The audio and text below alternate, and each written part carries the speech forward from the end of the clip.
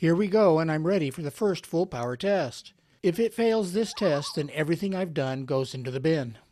Here I have everything set up in the yard in a haphazard way, and now for a quick tour.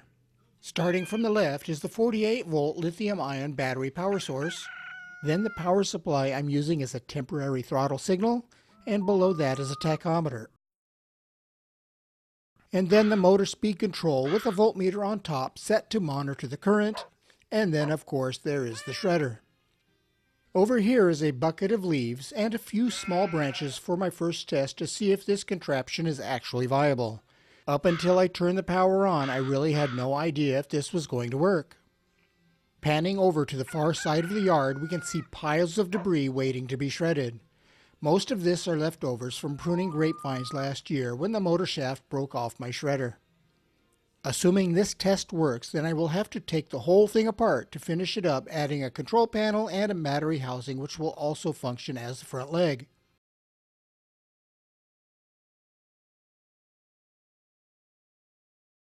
Time to get testing. The first part of this test is to ensure maximum RPM does not exceed 4000. I will have to slowly power it up while monitoring the RPM on the tachometer making sure everything is turned on, and then I ramp up the power. It starts up right about 6.5 volts on the throttle. Now for a quick check to make sure the tachometer is working.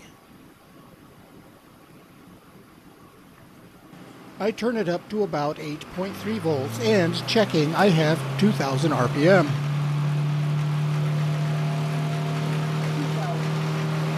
Then I crank it up to 9.4 volts and it's about 3000 RPM and looking good.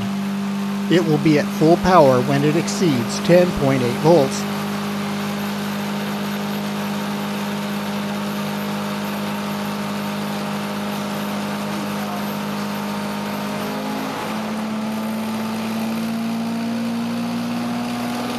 At 10.4 volts, I have 3700 RPM.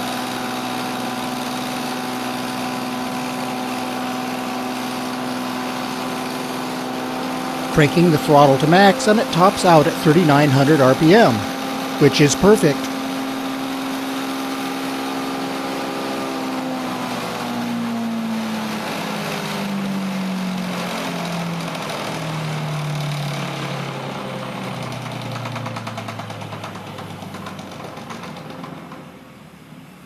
The belt tension bolt came loose and I had to readjust the belt.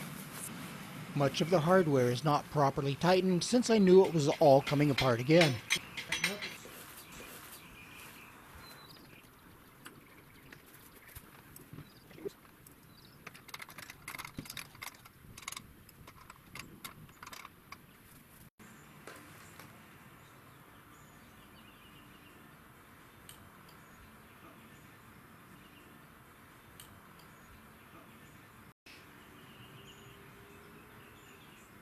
Now I need to run it back up again to see how many amps are flowing through the system.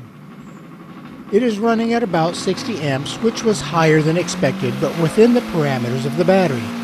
I am estimating runtime about 30 minutes. And now that I know it is running properly, the next question is, will it shred anything?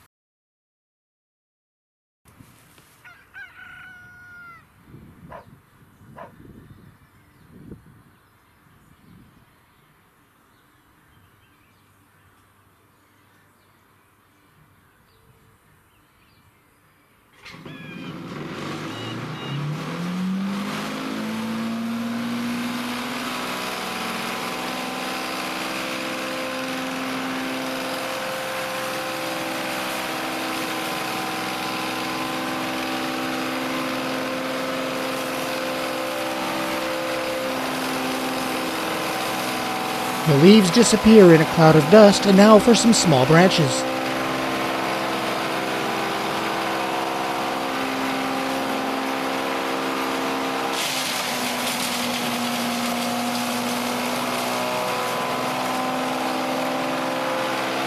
It just sucks down the small branches and whoops, the power on wire fell off and it shut down. When watching the video, I noticed it was one of the twigs that pulled the wire off.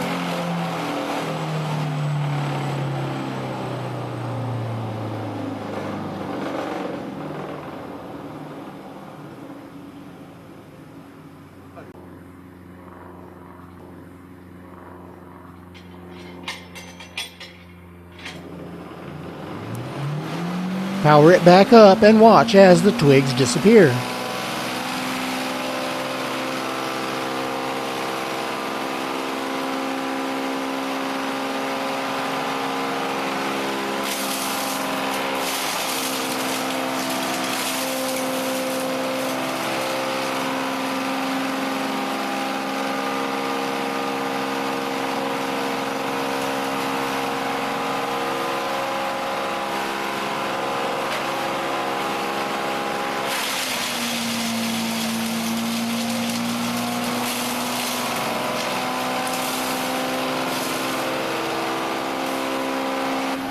Then I ran over to get some more.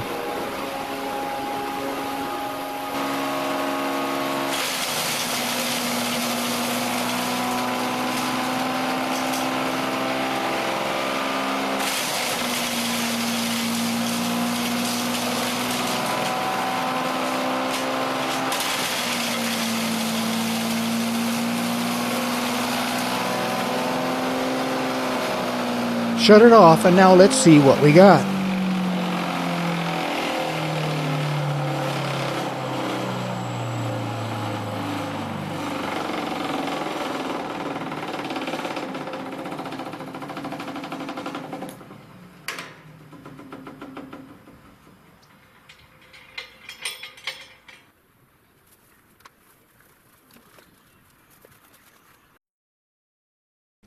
A full bucket of leaves and a handful of twigs turned into about one quarter full of a bucket, perfect for mulching. Now I have to tear it all down, get it painted, and the other parts manufactured.